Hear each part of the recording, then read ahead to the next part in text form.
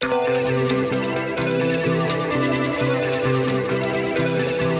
saw a glimpse, a shimmer, a shadow of something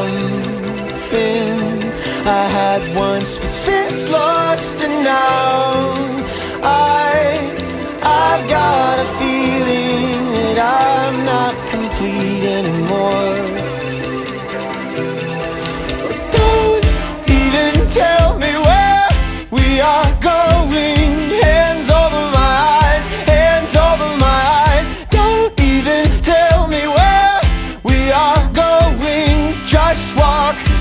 walk by my side.